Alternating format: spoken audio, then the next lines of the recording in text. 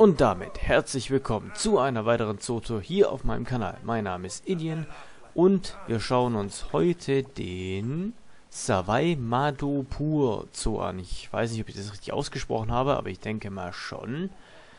Laut der Steam-Beschreibung ist dieser Zoo relativ alt, also beziehungsweise damit will ich sagen, dass der ziemlich knapp nach Release hochgeladen worden ist und den schauen wir uns heute mal an. Laut Screenshots hat man auf jeden Fall dieses schöne Gebäude im Hintergrund gesehen und ich hoffe, der Zoo äh, überrascht uns, was es hier zu bieten hat. Also, diesmal nicht wirklich so ein Standardeingang, wie man sehen kann. Wir gehen auf jeden Fall durch den Spawnpunkt direkt in das erste Gehege. Und so wie es aussieht, ist es ein begehbares. Oder hat es hier natürlich als Eingang genutzt? Ich weiß es nicht. Aber wir laufen einfach mal hinein und gucken, was uns hier erwartet. Auf jeden Fall einen schönen großen Garten, man merkt's. Sieht eher nach indischem Style aus, vor allem wenn dieses Gebäude im Hintergrund ist. Innelt sehr indisch. Und hier muss irgendwas sein, weil die würden hier nicht rumstehen und begutachten. Ja, auf jeden Fall hier Pfauen.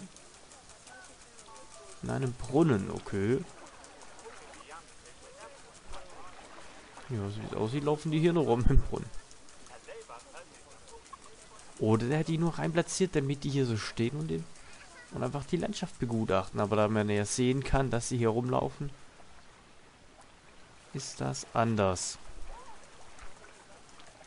Ich weiß halt nicht, wo die überall rumlaufen können, aber das spielt ja keine Rolle. Hier hat noch ein kleines Dächchen gebaut, mit dem Baum verbunden. Habe ich auch noch nie so gesehen. Okay. Hier noch einen. Und dann geht's hier wieder raus. Also drei Eingänge auf jeden Fall von allen Seiten. Okay. So. Der große indische Tempel. Schöne Säulen. Sehr, sehr schöne. Und ich würde einfach mal sagen, wir gehen links herum. So. Ich habe es nur ganz grob kurz von oben gesehen, also ich weiß nicht, was uns alles hier erwartet. Das sehen wir gleich. Auf jeden Fall hier eine Menge Flamingos. Ein bisschen unrealistisch, dass hier keine Stützen sind. Also quasi hängt der Weg in der Luft. Das ist ein bisschen blöde. Ja, das habe ich gerade gesehen. Aha. Fehlplatziert. Definitiv. Ja, ich weiß, ich bin jetzt nicht so ein Fan davon, dass man Wege über die Gehege platziert. Das finde ich jetzt nicht so schön. Aber das ist Geschmackssache. Ja, hier ist der Eingang vom Gehege. Ich dachte gerade, das ist... Okay, aber ziemlich leer, würde ich sagen. Nicht gerade wirklich ausgearbeitet. Nichts Besonderes. Egal, wir gehen weiter. So, was haben wir denn hier? Links oder rechts? Geht's kurz oben rum, da geht's wieder rüber. Also ich würde sagen, wir gehen nach links. Ganges Gaviala, aber auch wieder viel zu kahl, finde ich. Mein Geschmack. Viel zu kahl. Okay, dieses, dieser Bereich hier ist cool, vor allem mit diesem würfelartigen Felsen. Optimal. Hier als quasi als Schlafplatz. Hier hätten wir vielleicht noch ein Dach drüber setzen können. Aber sonst, ja, da fehlt viel zu viel aus meiner Sicht. Okay, das Schild hat auch gut, ges äh, gut gestaltet. Das sieht gut aus. Aber hier das Gehege an sich. Watschel, watschel, watschel, watschel. Ja, hätte man mehr draus machen können. Okay, wir gehen einfach mal gucken, was uns hier noch so erwartet. Auf jeden Fall hat er hier alles indisch gehalten. Man merkt, bisschen zu viel Lampen, finde ich. Da hätte man wirklich äh, hängende Lampen dran machen können, statt diese stationäre. Ich bin eh kein Fan davon, wenn man diese Standardlampen mitten in den Weg stellt. Da bin ich kein Fan davon. Gehen wir mal zurück, weil wir sind ja kurz außenrum gelaufen. Aber in den indischen Gebäuden hat es wirklich trauer. Gesagt, ich weiß halt nicht, ob das aus dem Workshop ist oder ob er es selber errichtet hat. Das kann ich jetzt nicht beurteilen. Okay, da waren wir gerade. Wir laufen dann hier entlang. So, an der kleinen Essmeile vorbei. Vor allem, das ist hier viel zu eng. Das ist alles auf den Haufen gequetscht. Das ist nicht optimal, finde ich. Finde ich nicht gut gelöst. Vor allem, dass die Automaten hier im Weg stehen. Nee. Nee, nee, nee. Wie gesagt, Geschmackssache, aber nicht meine. wie man es hier sehen kann, das ist... Optisch sieht es auch nicht top aus, finde ich. Also, an Lampen hat er auf jeden Fall nicht gespart. Man sieht es definitiv. Vor allem hier auf dem Boden auch. Hat einfach ein... Ja, okay. Hat er quasi einfach nur den Laden hier rein platziert, damit die Leute hier wenigstens nach oben gehen. Aber das ist quasi unnötig irgendwie. Dass hier oben irgendwas ist. Das ist echt unnötig. Also ich glaube, der hat nicht wirklich viel... Also alles sporadisch, denke ich mal, gemacht. Aber das hier sieht mal wieder gut aus. Also da kann ich jetzt nicht meckern. Das ist auf jeden Fall ein optischer Augenschmaus. Aber hier, das oben, das ist nicht so gut gelungen. Sonst hier finde ich es nicht schlecht. Ist echt gut gemacht. Quasi auch hier die Bordsteine oder je nachdem, was da halt ist. Mit den Sachen hier abgesteckt. Und es ist sehr verwinkelt, sehr, sehr verwinkelt. Mal gucken, was hier oben ist. Ja, hier hat er dasselbe Problem. Oder dasselbe nochmal gemacht. Bin hier gerade nicht durchgekommen? Ja. Genau hier das gleiche gemacht. Es ist nicht gut gelöst, würde ich sagen. So. Der Tempel sieht aber top aus. Der sieht echt gut aus. Ich weiß nicht, ob es ein Workshop ist oder selber. Weil theoretisch sieht hier jedes Gebäude eigentlich relativ gut aus. Okay, hier hätte ich die Wegen eher an, Wege anders gemacht, damit das hier nicht so entsteht. Oder ich hätte den Bordstein abgedeckt, äh, weggemacht und quasi Platten drüber gesetzt. Dann würde das hier wahrscheinlich auch besser aussehen. Aber der ist auf jeden Fall übertrieben, finde ich, mit den Lampen. Da hätte ich wirklich die Lampen an die Gebäude gesetzt. Dann würde es nicht so übertrieben aussehen. Das ist hier so richtig Buddha-Tempel. Sieht echt cool aus. Ist ein Mitarbeiter. Was haben wir denn hier? Ein Karton. Ein Karton ist hier drin. Nee, nee, ich weiß es nicht. Nee, das werden wir es wahrscheinlich gleich sehen. Und so wie ihr sehen könnt, ist hier nichts. Okay. Und dann kommen wir noch auf eine Plattform. Also ein Tiger ist hier drin. Ein Königstiger. Auf jeden Fall mit Soundkulissen hat er auf jeden Fall auch gearbeitet. Man hört es gerade. Ach, da hinten schwimmt er. Okay. Bäumenmäßig gut, aber hier würde ich, hätte ich jetzt viel, viel mehr Fels noch mit reingemacht und dann noch alles mit Gestrüpp ausgekleidet. Das würde hier richtig viel ausmachen. Und ich glaube, dieser Baum ist aus dem Südamerican Park. Wahrscheinlich hat er danach noch weitergemacht, bin ich mir mal sicher. Weil sonst wäre dieser Baum hier nicht drinnen. Okay. Geldautomaten wieder. Oh, da können wir sogar rein. Okay. Das finde ich auch immer cool. Moment mal. Ich glaube, dieses Gebäude ist aus dem Workshop, weil es kommt mir ziemlich bekannt vor. Vor allem ist mal hier links diese Statue, das steht, glaube ich, was anderes. Aber hier rechts auch. Ich glaube, dieses Gebäude ist aus dem Workshop. Wenn ich mich nicht täusche. Okay, es kann auch von ihm sein, jemand anders hat es übernommen. Ich weiß es leider nicht. Auf jeden Fall kommt mir dieses Gebäude sehr bekannt vor. Aber spielt ja keine Rolle. Es passt hier optimal hinein. Und ich bin ja, ich habe ja nichts dagegen, wenn man Workshop-Dinger benutzt. Äh, Mache ich natürlich auch selber. Und ich tue es natürlich auch wiederum selber verzieren, außenrum, etc. Und das ist, ja. Es sind nicht alle top bei Gebäuden bauen. Ich bin auch nicht der Profi darin, weshalb ich auch immer wieder Sachen da herunterlade und ausnutze. Das machen mit Sicherheit viele. So. Das ist hier, glaube ich, auch viel platziert. Die Ruine und dieses Gebüsch gezäunt, vor allem es hängt in der Luft. Das ist, glaube ich, auf jeden Fall viel platziert. Naja, das auch. Okay. Oh, guter Tempel, da kann man irgendwie rein, oder? Ja, das ist definitiv aus dem Workshop. Das hängt auf jeden Fall in der Luft. Das hat er nicht optimal platziert. Auch top, richtig schön. Hä? Das ist noch ein Eingang. Ah, der hat zwei Eingänge. Ah, okay. Gut zu wissen. Oder war das der Haupteingang? das war der Haupteingang. Ich habe an der falschen Stelle angefangen. Okay. Ja, nicht. Ach, ich weiß nicht. Mag ja sein, da hat er vielleicht zwei Dinger draus gemacht. Weil hier sieht man es nochmal. Savai Madhupur. Also habe ich auf der falschen Stelle angefangen, aber das spielt ja keine Rolle. Ich war ein bisschen irritiert, weil er auf der anderen Seite nämlich auch diesen Spawnpunkt hatte. Ah, gut zu wissen. Okay. Dann laufen wir schnell zurück. Auf jeden Fall hat man dann hier so eine kleine Allee, bevor man irgendwo an anders ankommt.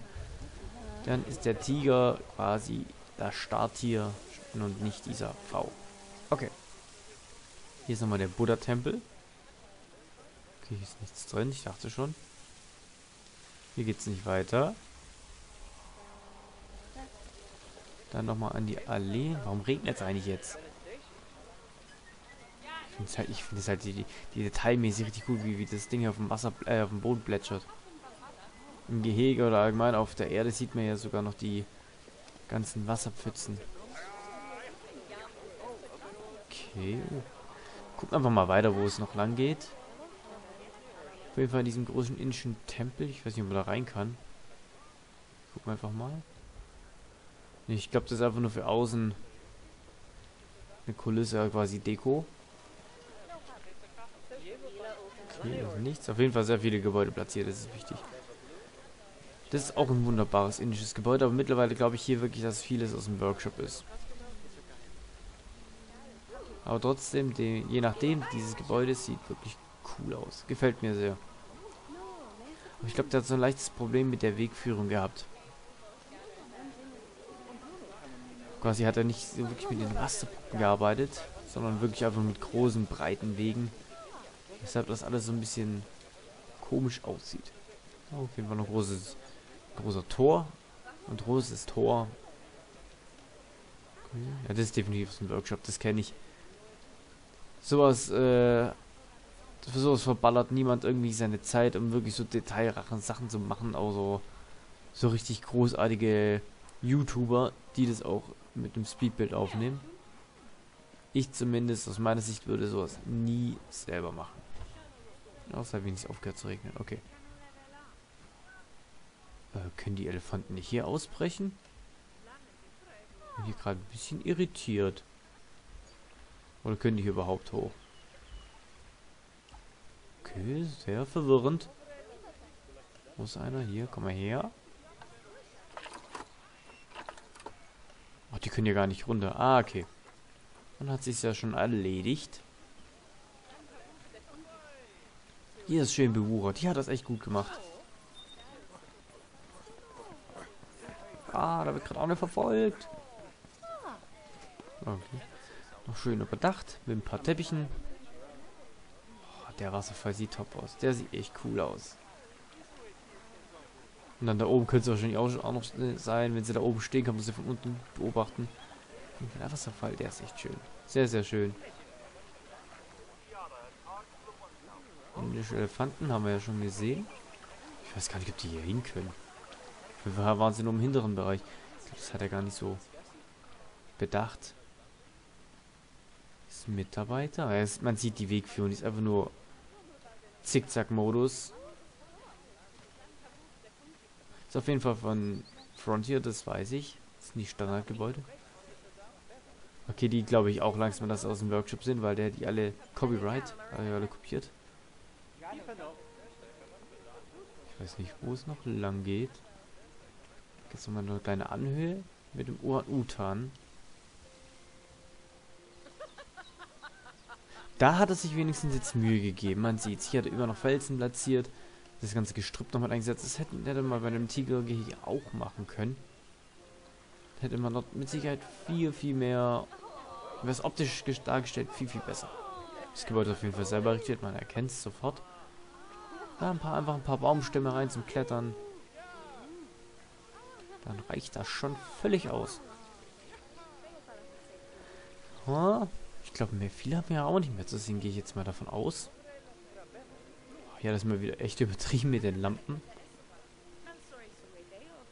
Ah, ein richtiger indischer Buddha-Tempel wieder. Das ist, ja, ich bin davon, ich gehe davon aus, dass es definitiv aus dem Workshop. Ja, aber je nachdem, der Baustil von diesem Gebäude ist echt klasse. sind Krokodile drin, aber hier hat man wieder dasselbe Problem. Sehr, sehr kahl. Und eine kleine Plattform. Okay, links Krokodile, rechts haben wir das Panzernashorn. Ich hätte es wieder anders gemacht. Da einfach mal ein paar Pflanzen rein.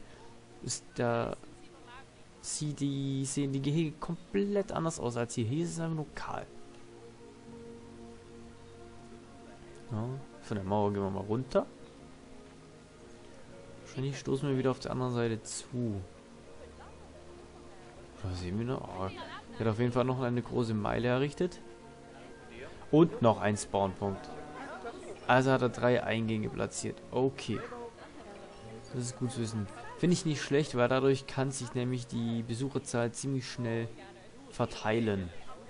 Statt alles auf einen Haufen zu stehen. Das Tor sieht auch nicht schlecht aus. Vor allem, das ist so schräg runter, aber da hat hier keinen Durchgang gemacht. Da ist verschwendetes Potenzial dahinter. Kommen wir nochmal hoch. Um die Tiere anzugucken. Es sind, es sind Personale. Ja, guck, man hat, dann sieht er hat es nicht hier richtig hinbekommen. Das Ding hat auf jeden Fall aus dem Workshop. Definitiv. Wenn man sieht hier, der Weg geht hier nochmal raus. Das ist nicht passend. Der hätte mehr mit dem Raster arbeiten müssen, dann hätte es auf jeden Fall funktioniert. Okay. Also mittlerweile glaube ich wirklich, dass jedes Gebäude aus dem Workshop ist. Ich weiß, ich wiederhole mich jetzt zwar die ganze Zeit, aber ich glaube, es ist einfach so. Okay, wir sind hier wieder am Start.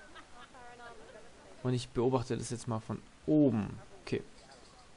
Nur ganz raus, weil hier war der Eingang, der erste, hier der zweite und hier der dritte. Okay. Dann hat man hier den Pfau mit dem schönen Ge äh, Garten. Man sieht hier, die laufen nur oben rum. Wahrscheinlich können die gar nicht hier raus. Oh, wohl doch. Okay. Dann hat man hier den großartigen Tempel. Okay, ich glaube, den hat er sogar selber gebaut. Schätze ich jetzt mal. Mitarbeiter. Ich gehe, äh, wir gehen mal links rum wieder. hier davon sowas bin ich nie ein Fan, dass man das übers Gehege macht. Vor allem ist es eher unrealistisch, weil da die Stützpfeiler fehlen. Hier ist auch sehr klar, bis auf die Stelle hier sowas hätte er viel, viel mehr machen können. Hätte mit Sicherheit viel rausgehauen. Die Scheiben hier ergeben gar keinen Sinn eigentlich. Aber je nachdem. Wir produzieren irgendwo welche Leute. Ich, ja. So. Dann hier, der Bereich innen, top. Kann ich nicht sagen, kann ich nicht meckern. Nur diese Wege hier ergeben für mich keinen Sinn. Also man hätte sie vielleicht so komplett durchgemacht, dann hätte, es, hätte man das vielleicht noch machen können, aber sonst nicht. Das Tigergehege ein bisschen zu kahl meiner, meiner Seite. Viel zu wenig Gestrüpp. Und dann hier das Ding, was mitten im Weg platziert ist. Definitiv Workshop. Definitiv. So, dann gehen wir nochmal zurück. Also viele Tiere hat er auf jeden Fall nicht. Lass mal mal gucken. Ich glaube, die Elefanten kommen hier gar nicht hoch. Oh, doch. Oh, die können immerhin bis auf vier. Du kannst halt nicht ausbrechen. Okay. Aber der Wasserfall, den hat er brillant äh, gelöst. Sehr brillant. Vor allem, weil das einfach nur aus den Felsen rauskommt. Oh, ich hänge hier. Okay, nochmal zurück. So. Sonst, was haben wir hier noch? Da waren die Nashörner. Ah, schade. Hier hätte man zum Beispiel irgendwie Durchg äh, Durchgang machen können, wo man es noch von... wo man die Tiere von innen noch beobachten könnte. Okay, das ist gut gelöst mit den Felsen als Abstützung sozusagen. Dann hätte ich die Erde da weggemacht. Ja, die Seite sieht doch gut aus, die, die Seite nicht, finde ich. Aber hier ist auch zu kahl. Das Gebäude ist auf jeden Fall aus dem Workshop. Und dann haben wir noch dieses Uran-Utan-Gehege. Das hat aus meiner Sicht am besten hinbekommen. Will jetzt nicht sagen, aber nicht, dass das Gehege auch aus dem Workshop ist, aber ich gehe es mal davon aus, nicht. Weil hier hat er wirklich die Felsen richtig perfekt platziert, das Gestrüpp optimal hineingesetzt. Hier noch wirklich mit dem Terran-Tool gearbeitet, mit, den, mit dem Pinsel. Man sieht, es hat auf jeden Fall etwas Ja, hier hätte ich vielleicht noch was drunter gesetzt, aber je nachdem. Was haben wir denn dann noch? Glaube, das war's doch schon. Jo. Ich glaube, hier habe ich auf jeden Fall nichts mehr verpasst. Nö. Jo. Auf jeden Fall sehr indisch gehalten. Teilweise nicht schlecht, hat zwar leicht seine Macken noch überall, aber es lässt sich ansehen, würde ich jetzt mal sagen. Und hier ist irgendwas ausgebrochen, ich höre es. So, ich nehme einfach mal so die Perspektive, so, alles klar. Oder? Ja, ich lasse es mal so. Okay. So, das war's natürlich mit, der mit dieser Zootour. Ich hoffe, es hat euch gefallen. Und ich hoffe, ihr lasst mir natürlich einen Daumen nach oben und gebt mir vielleicht noch ein Abo da, um keine weiteren Zootours mehr zu verpassen. Und bis dahin wünsche ich euch auf jeden Fall noch einen schönen Tag und bleibt gesund. Euer Edian. Ciao.